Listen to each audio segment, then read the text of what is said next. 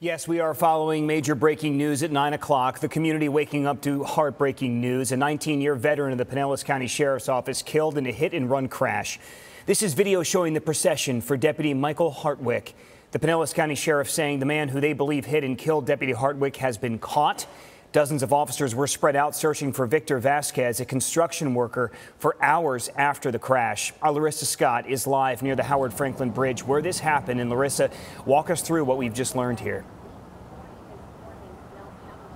Well, James, as you said, we just found out moments ago that the suspect was just caught. Now, there hundreds of deputies were here searching for the man accused of killing Pinellas County Deputy Michael Hartwick on I-275. Helicopters were flying in circles above us right here all morning long. We're off of Roosevelt Boulevard in Pinellas County, which, as you can see, is now open again after being shut down for hours all morning. The man they were looking for is Victor Vazquez. Investigators believe he killed Deputy Hartwick. We're told, though, they're not 100% certain that Victor Vazquez is his name, but this is a picture of him, the man who they say they caught. Here's video of the Howard Franklin Bridge right now. The sheriff tells us around 1030 last night, Deputy Hartwick was working construction detail on the bridge on I-275 north of Gandy Boulevard. He stepped out of his cruiser and was standing on the shoulder of the road. Investigators say one of the workers, believed to be Victor Vazquez, was driving a big construction front loader with forklifts on it. They say he hit Deputy Hartwick with the construction construction vehicle,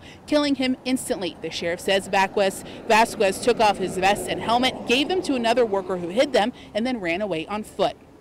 Deputy Hartwick was 51 years old. He was with the Pinellas County Sheriff's Office for 19 years. He leaves behind two adult children and his mother. The sheriff tells us he was just doing his job last night when he was killed. Take a listen to what he had to say about Hartwick earlier this morning.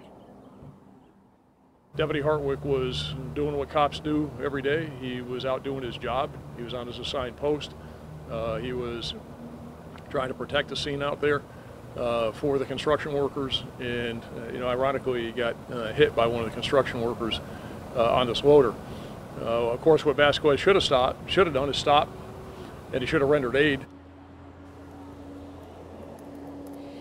The sheriff tells us they use a lot of resources to find the suspect, and we'll stay out here, continue to monitor the situation for you, and bring you updates as soon as we get them. For now, I'm live in Pinellas County. Larissa Scott, ABC Action News.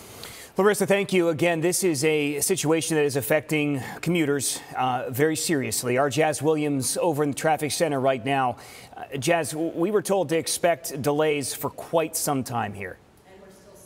Uh, by the way, James, we are still seeing those delays too. I-275 for folks headed into uh, Tampa. You have been experiencing a major closure there on the Howard Franklin. And as a result, we've been trying to give you guys ideas about detours taking the Gandy into Tampa. But we are seeing some uh, delays for those of you who are headed east, or excuse me, coming in from Tampa into St. Pete.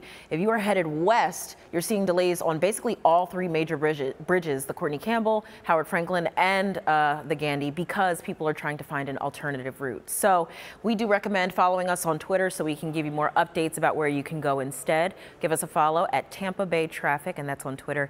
Uh, for now, Greg, I'm going to send it over to you.